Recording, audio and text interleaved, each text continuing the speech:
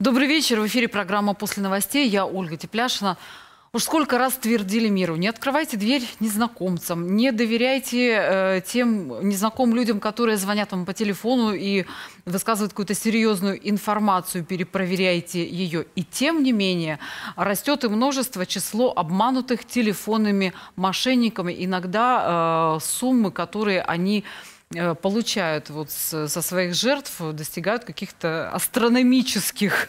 А, сегодня поговорим о том, как этого избежать и что, как вообще изменило, изменились их э, схемы. Сегодня в нашей студии Наталья Андидатова, начальник отдела по общеуголовным преступлениям Главного управления МВД России по Красноярскому краю. Добрый вечер. Здравствуйте, Ольга. Вот вы знаете, сегодня у нас был в новостях сюжет про то, как э, вот мы все видели э, молодой парень, абсолютно грамотный, все, и даже он смог поверить. То есть они стали такие образованные мошенники, психологически подкованные вот эти телефоны? Вовсе даже нет. Наверное, когда начинают разговор, э, каждому человеку, каждому собеседнику, они просто находят свой подход. Но есть несколько каких-то моментов, которые они используют при общении с любым человеком, будь угу. то э, по голосу пожилой человек, они же слышат, с кем примерно общаются, будь то молодой человек. У них есть несколько, ну, исходя из нашей практики, мы можем сделать угу. уже вывод о том, что у них есть несколько э, способов, приемов, для этого, например, они, если они представляются сотрудниками банка какого-либо, да, они используют профессиональные слова. То же самое происходит, если они представляются сотрудниками прокуратуры, э, Следственного комитета. Профессиональные э, вот эти э, словесные конструкции даже, я бы сказала. Совершенно верно. И причем, чем больше их вплетают в речь, тем больше человек полагает, что он общается действительно с профессионалом с человеком своего дела. И, соответственно, быстрая речь, э, невозможность э, сосредоточиться на чем-то одном, большое количество каких-то э, сленговых слов, да, и человек уже полагает, что он действительно общается с каким-то профессионалом и вполне верит, что это сотрудник банка, юрист и так далее.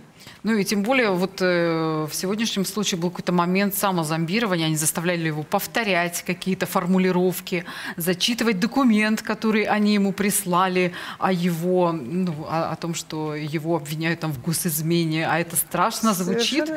И ну, э, в какой-то момент звонков стало гораздо меньше вот, с февраля этого года, да? А сейчас э, какая статистика? Возобновились знаете, они? В принципе, ну, да, сейчас все равно э, несколько увеличивается количество звонков, но, что не может не радовать, увеличивается и число людей, которые осознают что они общаются с мошенниками, и все-таки отказываются от э, угу. беседы с ними. Ведь э, самое интересное, что у нас сейчас, э, в принципе, не только сейчас, но и в начале года, и в прошлом году были люди, которые сейчас говорят, мы видели по телевизору, мы слышали по радио, мы в автобусе слышали объявление о том, что не нужно разговаривать с мошенниками. Но я подумал, подумала, что в этой ситуации это как раз все серьезно. А что их цепляет? Вот. Цепляет... Э, нагнетание обстановки. Мошенники слегка нагнетают, и они дают, э, делают акцент на то, что я тот, кто может вам помочь. Я вас сейчас спасу. Вы можете потерять деньги. Или, ну, э, старая самая ситуация, да, вы выиграли приз. И если вы сейчас, вот в течение двух минут не примете, ваш приз уйдет другому человеку. Люди боятся потерять. Люди хотят выиграть что-то. Потерять еще не имея, замечу. Не имея, совершенно верно. И они боятся потерять то, что имеют. Если им говорят, что на вас взяли, оформили кредит, они понимают, что сейчас произойдет что-то другое, и они потеряют эти деньги. Соответственно, каждого цепляют на свой крючок, скажем, один не, не зацепится, скажем, но другой обязательно сработает с другим. А как выглядит вообще стандартная схема обмана, вот сейчас, современная?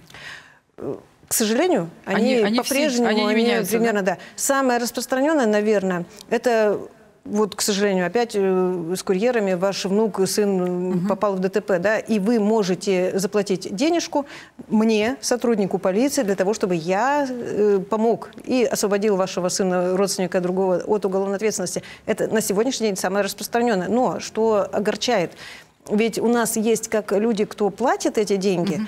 Э, к счастью, есть сейчас много людей, кто не платит, понимают, что это действительно угу. развод, грубо говоря. Э, есть люди, кто берется за эту работу. И они у нас сейчас находятся в следственном изоляторе содержатся. И они говорят, что мы думали, что это все законно, мы а, устраиваемся кстати, работать курьером. Привлекает?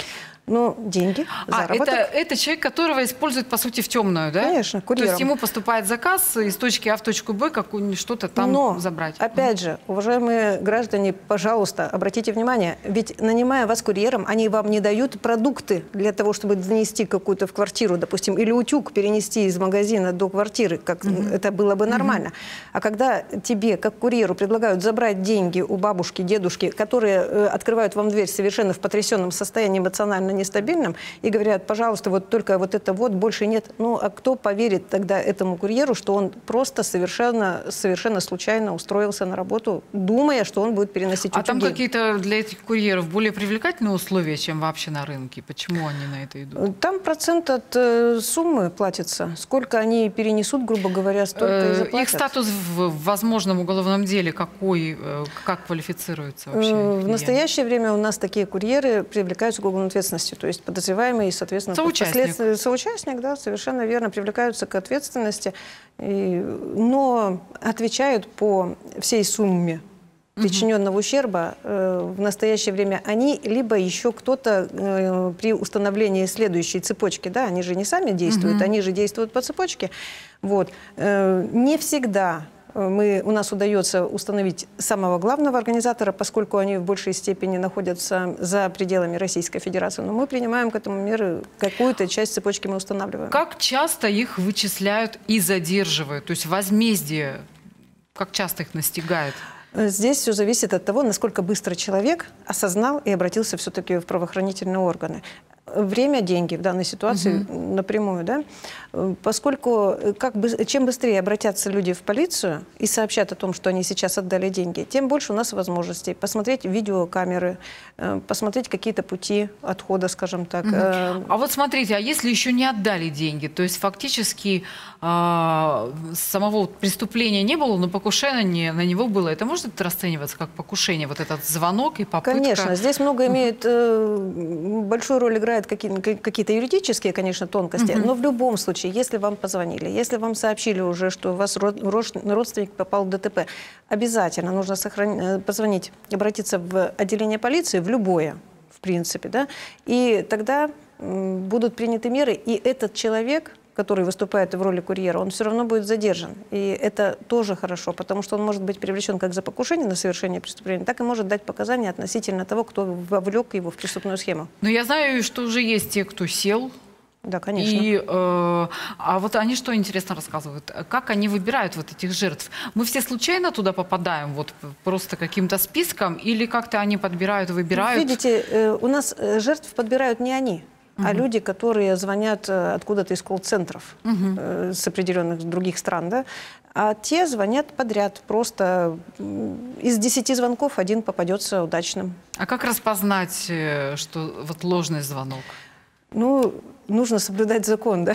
Как бы это ни странно сейчас от меня прозвучало. Ну, что это не сотрудник банка, не сотрудник плане... ФСБ вот сейчас, да, в госизмене. Смотрите, себе, вот те же бабушки и дедушки, которые, или там вполне себе работоспособного возраста люди, когда им предлагают, по сути, дать взятку сотруднику полиции, чтобы родственник угу. освобожден был от уголовной ответственности, это должно уже насторожить нет такого вида освобождения от уголовной ответственности, и нужно это понимать.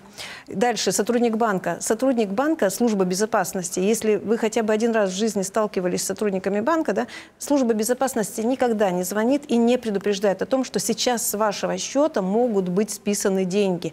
Они этого просто не видят в, в тот момент. Поэтому все вот эти предложения, давайте мы, как сотрудники службы безопасности банка, сейчас вам поможем и переведем ваши деньги на безопасный угу. счет, или вот возьмите кредит, или давайте мы с вами разоблачим целую преступную группу. Э, это все должно ну, вам сразу я дать понять о том, что вы общаетесь знаю, с мошенниками. что многие банки вообще пишут своим клиентам, и это есть в личном кабинете в мобильном банке, а, что можно туда сообщать информацию Конечно. о вот таких звонках с номером. Ну, есть вероятность, что где-то кто-то успеет и их пресекут. Вот. Э, Сейчас банки действительно очень большую такую профилактическую кампанию развернули. Действительно, входишь в кабинет, и там э, говорят осторожно, мошенники и так далее. Но проблема в чем, что люди, может быть, не всегда внимательны, не всегда открывают эти сообщения, вкладки, смотрят и знакомятся. Еще хочу обратить внимание, что если вам позвонили с номера телефона, и там, например, э, э, человек, кто представляется, что он сейчас самый главный по раскрытию группы мошенников, там, и он сейчас угу. вот все над этим работает, и он говорит, вы посмотрите, ведь этот номер телефона, с которого я звоню, угу. например, принадлежит прокуратуре или, например, ФСБ, ГУ, Главного управления МВД России по Красноярскому краю. Такие случаи были, естественно. И человек смотрит параллельно на другом телефоне, угу. компьютере, что действительно этот номер, есть такой номер в Главном управлении МВД России по краю. Но э, как проверить, что вам звонят действительно оттуда, а не подменный номер, который используют угу. мошенники? Вам нужно сбросить этот звонок и либо с этого, либо с другого телефона э, не перезвонить, не ответить на этот звонок, а просто набрать циферки. И когда вы позвоните, вам ответит действительно сотрудник, который в 99%... То есть не на повтор нажать, не а на именно повтор, набрать а именно вручную. циферками угу. нажать, да. И тогда вам сотрудник, действительно работающий, ответит, что он вам не звонил и не предлагал стал стать участником Каждый операции. раз задаюсь этим вопросом, но а почему люди верят в какие-то самые невероятные сценарии. Вот э, недавняя история из Норильска потрясла сильно, потому что, ну, она была связана не с телефонным мошенничеством, а с интернет, но тоже все уперлось в деньги, конечно. Э, это была история знакомства и любви в интернете, где американская военная или, ну, в общем, из какой-то страны, да, военная, вышедшая уже на пенсию, там мужчина еще совершенно не старый, но уже, э, как говорится, не, ну, с опытом жизненным. Но поверил в то, что, значит, эта женщина хочет приехать жить к нему в Норильск, и ей оставили наследство там сколько-то, ну, в общем, сотни тысяч долларов или миллионы, я сейчас сумму не помню, и она их отправляет почтой России, якобы, а ему нужно оплатить эту посылку, ну, общем, и человек заплатит. Это, это вообще как? Ольга, все это было бы здорово. Знаете, вот, э, ах, обмануть меня нетрудно, я сам обманываться угу. рад. Э, к сожалению, это была история бы... Вот просто человек верит в чудо. Но проблема в чем? Буквально полгода назад, э, до этой ситуации, да, у нас были задержаны граждане Нигерии, которые, которых ждала здесь тоже у нас жительница Красноярска. И да. она ждала себе только мужа. А они настоящие граждане, да, были? Граждане Нигерии угу. действительно настоящие. Они когда когда-то приехали в Москву и задержались, поскольку есть, появился вот такой вот интересный способ ага. заработать. И она ждала, у нас здесь э, Красноярка ждала голливудского актера, и еще пять женщин по, России, по Российской Федерации ждали голливудского актера, очевидно, одного и того же. Но и там тоже около 5-6 миллионов было перечислено. Мы установили этих Не, людей. Ну то, что женщины, мужчины верим, мы таких очень много историй У знаем. нас мужчины тоже но романтики. Вот когда мужчина еще в какую-то вообще фантастическую историю э, с почтой России, там мужчины военной не женщиной. романтики. Самая лучшая профилактика, вот у нас заканчивается уже программа, подобных угу. преступлений какая по статистике? Самая лучшая профилактика. Общайтесь с родственниками. Э, всегда нужен взгляд со стороны. Родственниками, позвоните каким-то знакомым. Э, в конце концов, позвоните в полицию и спросите, есть ли вероятность того, что в отношении вас действуют мошенники, или это все законно и так далее. Чем э, больше вы привлечете к этой ситуации людей, а мошенники вам, как правило, не дают Никому не говорите. возможности да, трезво да, да. взглянуть со стороны, вам нужен взгляд со стороны. Общайтесь с кем-нибудь, и вы поймете, в этой ситуации, сами сможете взглянуть на эту ситуацию со стороны, и вы поймете, что, скорее всего, вас обманывают. Ну и не торопитесь отдавать свои деньги куда-либо. Растратить их легко, заработать очень сложно.